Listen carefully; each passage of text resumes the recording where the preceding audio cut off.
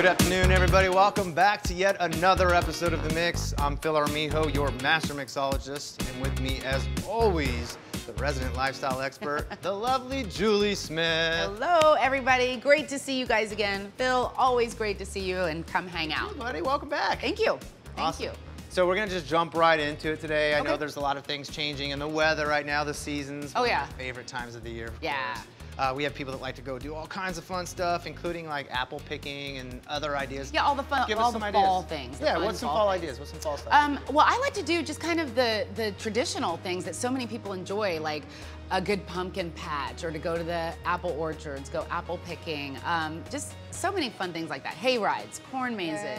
Yeah, hay rides, exactly. And I enjoy those things, and my friends do as well as adults. If you have any kids in your life, it's so fun to watch them enjoy that too. Like it's just kind of a magical time in its own right. But right. I think one of the most traditionally fall things to do that I love so much is a good bonfire, mm. right? That's just so much fun. It's such a great way to just chill and hang. Fall is such a chill time to me. Like you're hanging out, you're having a good time, but you want to be cozy because it's a little chilly, right? So a bonfire is a great way to do that. Uh, you just, you know, you have that smell of the Right. of the fire. You've got that sound of Sound, the crackling. crackling yeah. Yeah. it's just a vibe. It's You a whole roast vibe. marshmallows like we did last week. Yes. Oh my gosh. And you know, I'm such a fan. I can put away a lot of s'mores, and that drink you made for me totally tasted like a s'more. So I love that stuff. But yeah, a bonfire is just so much fun. So uh, I love to do that. And, you know, I just, I love all the fall things. And it looks like you've got something that's perfect for the season. I see some peppers here. What have we got? Today we're starting off with the Benriach Scotch because of the flavor profile that it lends itself to us today for our theme. We're gonna keep it with that smoky concept going on. Yeah. We're gonna add a little bit of heat to it. We're gonna round it all out with some squeezed lemon juice. Ah. And we're gonna show you guys at home how to make the Thunderbird Spicy Sour.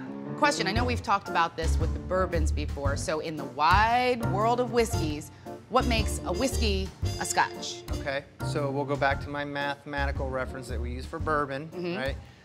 All scotches are whiskeys, but not all whiskeys are scotches. You have to have been made in Scotland to be considered a scotch. Oh, so if it ain't Scotland, it ain't Scotch. Right. Right? Okay. That's right. Put that on a t-shirt. Yeah, exactly. So, well, that does make sense though, because with the flavor profile that you've described, it makes you think of Scotland, you know, with those foggy moors and you've got the kind of damp earth there. So Yeah. it's going to lend itself to that. Right, And this specifically comes from the Speyside region in Scotland, which is on the northeast corner of the island. Um, there's a river that runs through there. There's an aquifer that's actually located underneath the distillery itself. Mm-hmm. They're using that water to make their, their scotch from. So you're actually, Okay. you're literally tasting the elements of the earth from, from that area Little earth. inside. Maybe a little Scotch. Scotland dirt in there even, you think? Maybe a little dirt in there. Little microscopic, can't see it. That's right. It's okay. By the way, something different that the Benriach Scotch does, they've introduced this new eclectic cask maturation process, which just means that they simply bring barrels from all over the world, France, Italy, uh, Spain, Jamaica, which actually we're using the Smoky 10 today, which is actually one of the casks in that one is the Smoky barrel from a Jamaican rum. Ooh, how cool. I like Jamaican rum. I love the fact that they use this old process, but then they find ways to incorporate flavors from all over the world with those Yeah. those barrels, right? So Very eclectic. It's kind of like a United Nations of Scotch. Yeah, that's a good way to put I like that. Yeah, I like it. Diverse. All right, Julie, ready?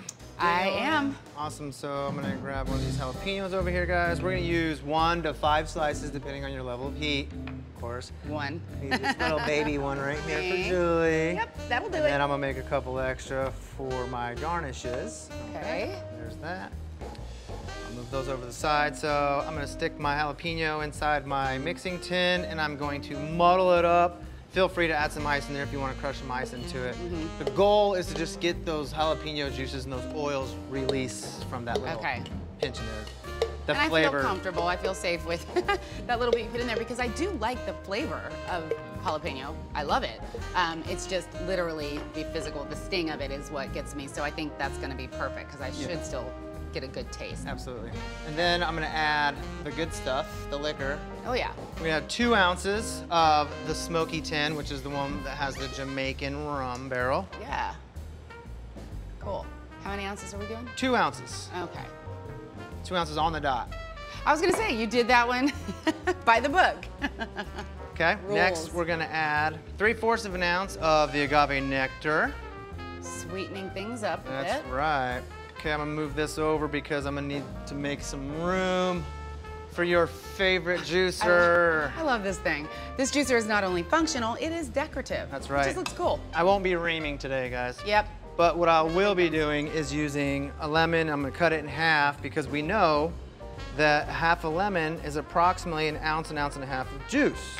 We only need three quarters of an ounce today though, so I'm not gonna squeeze as hard as I usually do, Julie. I Gentle touch. All, of it. all right, so we're Need all get that. up in there.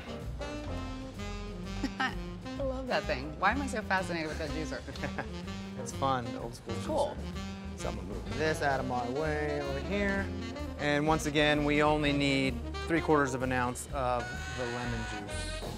I'm gonna add um, a cup of ice on the other side of my shaking tin.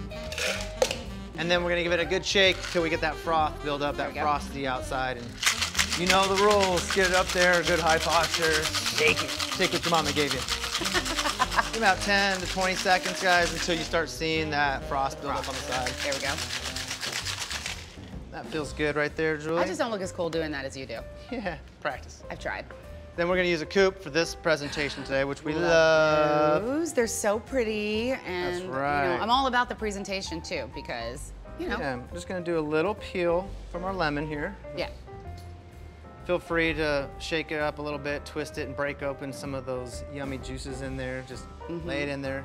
Of course, I'm not gonna use my back today like I normally would, guys, because I don't want Julie getting any of these seeds or anything in her mouth. Oh, the So I'm gonna use yeah. the strainer for this for this purpose. Good looking out. Thank you for that. I love the color of that. It's a cool Then cocktail. The last little garnish that we're gonna be using here is the other wheel that we cut from our jalapeno. Just stick it through the toothpick like that. And it just goes right there on the lip, just like that. And right. then my favorite part, watch you enjoy. All right, thank you, Phil. And you know, as much as I'm about the presentation, I love this little garnish, but I'm gonna hold on to it to make sure that jalapeno doesn't touch my mouth. So I'm really excited about this, like I said, because I tried scotch one time and it didn't go so well. But I'm excited about this because this is different. It is different. we Got a cocktail situation going on here. So right. cheers, everybody. We got a unique blend of flavors in there, guys, that come crashing around in your mouth like a thunderstorm. That's why we call it the Thunderbird Spicy Sour. Okay, that is, that's good. It's good. It's really interesting. It, it is distinctly a different taste, a different palate with scotch completely. And I still do taste that scotch, but because it's not straight and it's mixed, you've got the sweetness from the agave and that little kick from the jalapeno, which by the way, was the perfect amount. Okay, good. I actually like this. Nice. Not gonna lie, I wasn't really sure, but I like this. I would do this again. Well, I'm looking at Phil on my first actual line, but I love a good hayride, going through the corn maze, long walks through the corn maze. So what? The beautiful leaves are changing colors. I cool. We're positive that's not true. Somebody Google bourbons. Thank you so much for joining us here at another episode of The Mix. Remember, if you want to catch our old episodes and do some homework, or you want to watch our future episodes, please visit us at themixga.com. Definitely do that, and don't forget to like, comment, and subscribe by clicking the link below. Cheers, everybody. Till next time.